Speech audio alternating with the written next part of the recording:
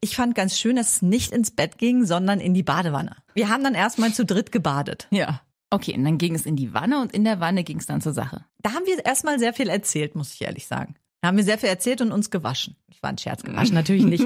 Nein, dann fingen schon so Berührungen an und so weiter. Und dann wurden in der Wanne die Regeln fürs Bett besprochen. Ladylike, Die Podcast Show. der Talk über Sex, Liebe und Erotik.